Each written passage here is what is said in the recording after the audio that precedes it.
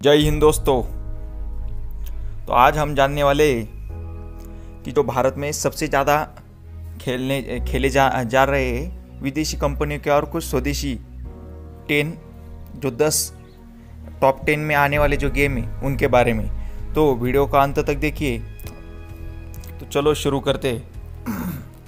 तो दोस्त दोस्तों, अक्सर क्या हो रहा है कि जो गेमिंग इंडस्ट्री में उसका जो रेट है वो डे बाय डे बहुत ज़्यादा बढ़ रहा है। तो इस इसी में जो टॉप टेन है अलग अलग देशों के, जो पाँच देशों की जो गेम है, वो बहुत सारे हमारे देश में प्ले हो जा रहे तो उसमें सबसे पहले जो ज़्यादा खेलने जाने वाला गेम है, वो है कॉल ब्रेक मल्टीप्लेयर ये इंडिया में सबसे ज़्यादा प्ले होने वाला पहला गेम है। उसके बाद में है दूसरा है कॉइन मास्टर ये दूसरा सबसे ज़्यादा प्ले होने वाला गेम है इंडिया में। तो तीसरा है एट बॉल पुल ये सबसे ज़्यादा प्ले होने वाला इंडिया में तीसरा गेम है।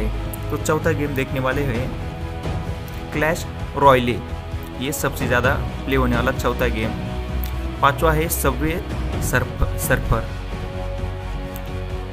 दोस्तों, छठा है candy crush soda saga soda saga और संगा क्या को कुछ कहते हो?